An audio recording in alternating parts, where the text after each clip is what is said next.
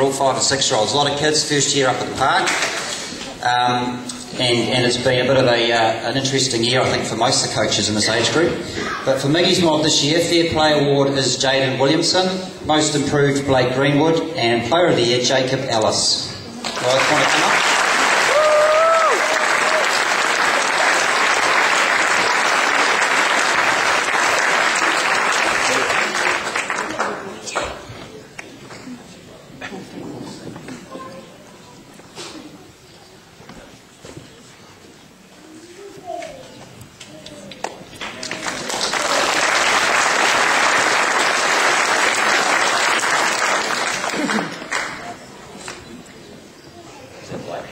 Blake?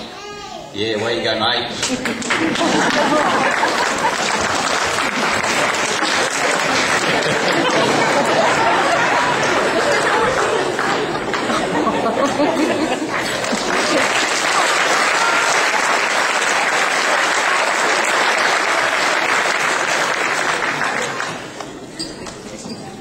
Righto, next the Mud Sharks, coached by Mike Marshall. Uh, fair play for the Mud Sharks is Blake Dunlop, most improved Ethan Thomas, and player of the year Jesse Marshall. If you three would like to come up.